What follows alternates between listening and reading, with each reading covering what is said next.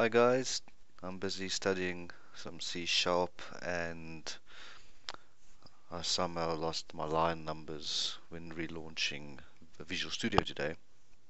As you can see I'm busy here with a little piece of code that I'm doing from Pluralsight, awesome website to check out.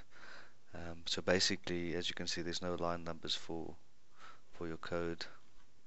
So to get that back there's two ways. You can go click on tools options.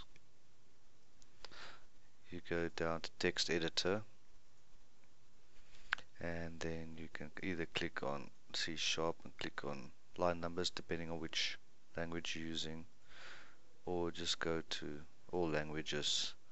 Click on line numbers and say OK and we got our line numbers. Other way is just to go into the quick search and type in line numbers. And just click on there and it brings you to the same window. You can switch off line numbers and go back to quick quick launch bar and click on all languages. Click on line numbers say okay line numbers are there.